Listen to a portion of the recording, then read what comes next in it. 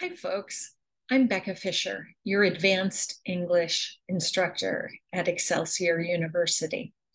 I'm originally from upstate New York, but, but spent two years in Hawaii in graduate school, and then another 20 years in Denver, Colorado as a working professional in higher education. Now, I'm an academic advisor here at Excelsior College in the Nursing and Health Sciences program, and I also teach Cornerstone, an advanced English composition.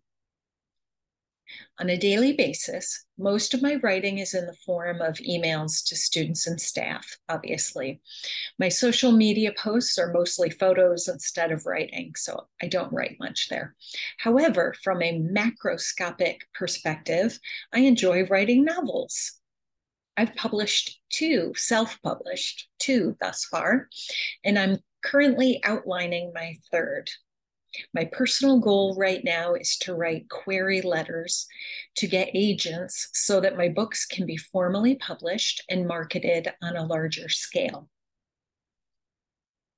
As an instructor, my goal is to help all of you express yourselves as clearly as possible with an appropriate tone and appropriate tone for your genre and audience.